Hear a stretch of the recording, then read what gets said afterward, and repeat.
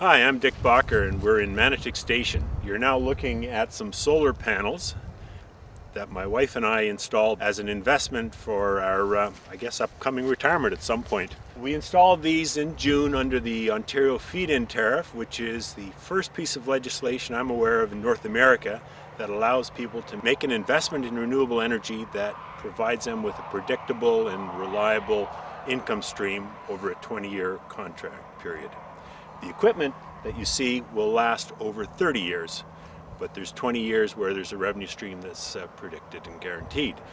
Therefore, my wife and I have invested in this as a financial investment, not necessary to save the world or anything like that, although there are side benefits that are good for everyone else as well.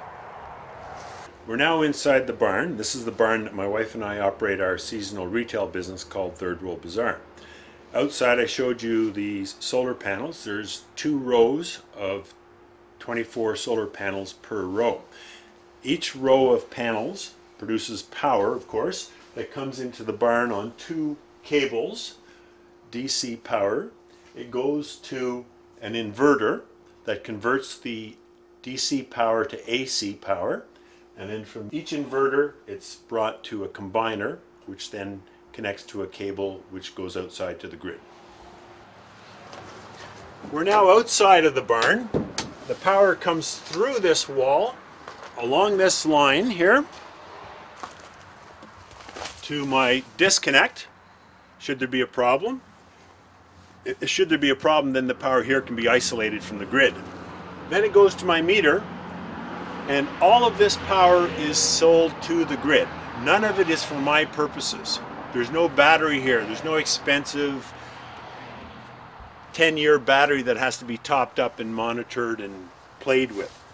Everything that I produce is sold to the grid and when I turn a light on or if I have a need for power I buy it with this meter. So I actually have two meters, one selling, one buying.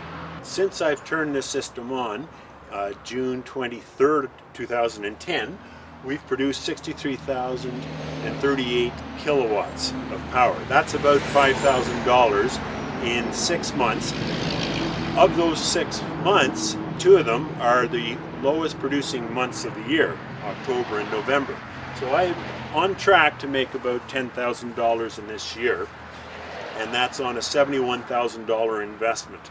So I can't get a return like that from any other financial instruments and I don't have to invest in a fossil fuel dividend paying company. I'm investing my own money in my own infrastructure and my own capital asset that is employing people in this community rather than sending it off to England to invest in BP, for example, that then has an oil problem in the Gulf of Mexico and doesn't pay dividends because of. Another key aspect of solar that people should be aware of and isn't mentioned much is the fact that I can only produce power when the sun shines. Almost every bit of power that our solar panels produce is consumed by my brother in the store next to me.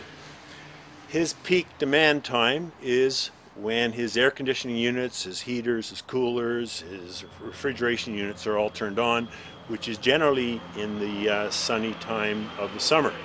We're here offsetting power that would normally have to be produced and shipped to this little hamlet Manotick Station. Manotick Station is now producing power in the peak load. We're offsetting expensive power that has to be turned on in Almonte or Toronto or some other place far away and then has to be shipped here which has line loss between 8 to 12% normally up to 30% in the peak demand time. Because we produce peak load we're reducing that line loss and we're reducing it at the most expensive time and we're offsetting very expensive power. So that is good for the taxpayers of Ontario and it's good for the, the, the climate and the weather and all sorts of side effects. It happens to be good for our family as well.